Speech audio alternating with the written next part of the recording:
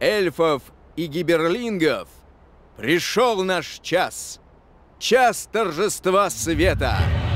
И когда астральные корабли бороздят прос... А! А!